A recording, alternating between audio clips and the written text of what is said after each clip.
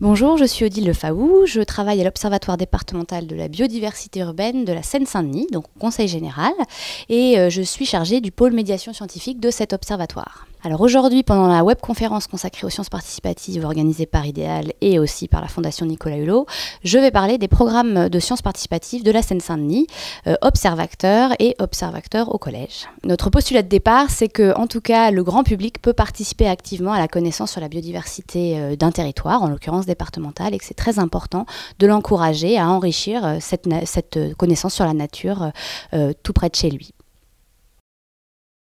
Cette interview a été réalisée dans le cadre d'une intervention. Retrouvez la webconférence en intégralité sur communauté.idealconnaissance.com.